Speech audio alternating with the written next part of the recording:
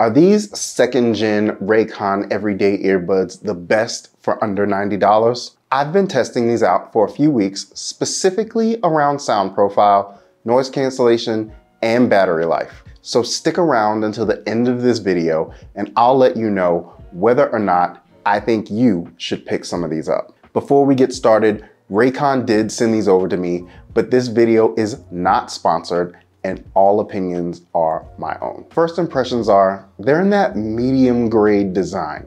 They're not super cheap plastic, but it's not top of the line either. I got mine in this sweet green color and the ear tips do match. Speaking of ear tips, these things are pretty comfortable.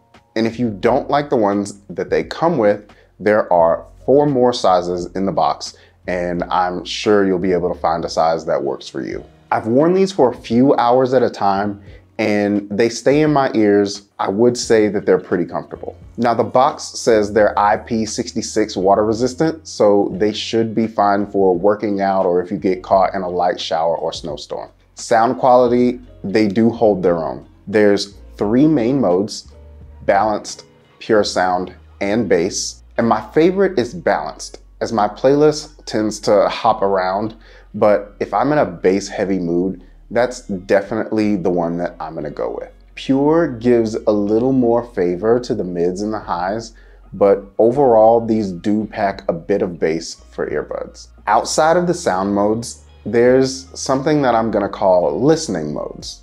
You have regular, ANC, and awareness. Regular is just as it sounds, nothing special, nothing on. ANC is your active noise canceling. These are good for the price point.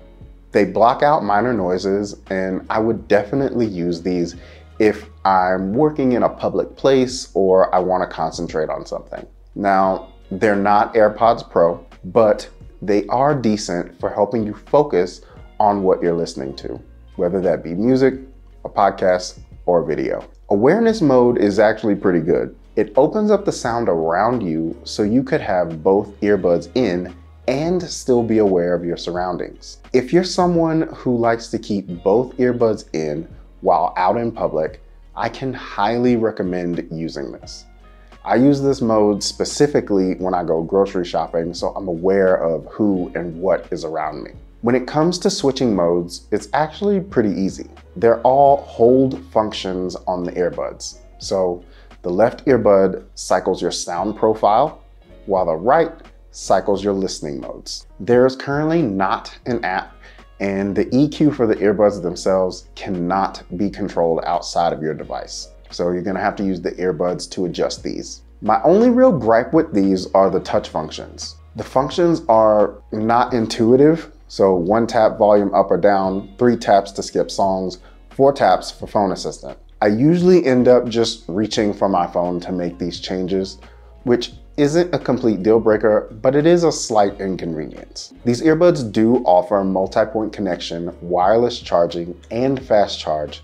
So 10 minutes will give you 1.5 hours of listening time.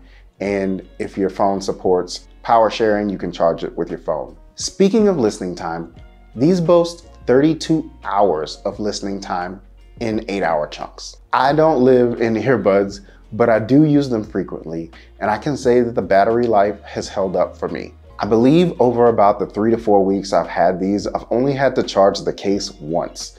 And I'm not listening to earbuds for eight hours at a time, so I haven't had them die on me yet. If you're enjoying this video so far, be sure to give it a thumbs up and hit that subscribe button if you haven't already. Connecting these earbuds was almost as easy as AirPods. Opening the case, they were ready to pair and connected right away when I selected them on my phone. Whenever I want to use them, they connect pretty seamlessly. I usually don't have to troubleshoot or have any drop connections or go through any selection process. For calls, I would say they do just fine. I've taken a few calls on these and the person on the other end has not complained about microphones or sound quality or echoes, which is something that I cannot say about other earbuds that I've used in the past. Now you might be wondering about the case that I have on these, and this was also sent over by Raycon.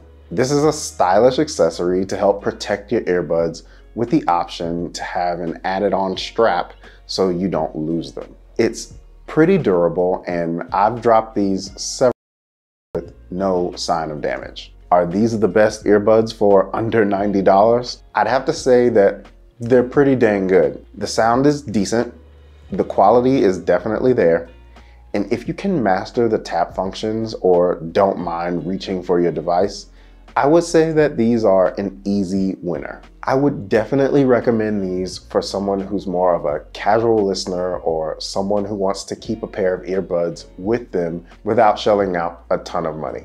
Commuters, freelancers, people who work in a shared work environment, you'll definitely enjoy these. If you've tried these for yourself, I'd love to know what you think down in the comments below. And if you found this video helpful in any way, do all the YouTubey things and remember to do the work, believe in yourself, but most importantly, keep creating. Peace.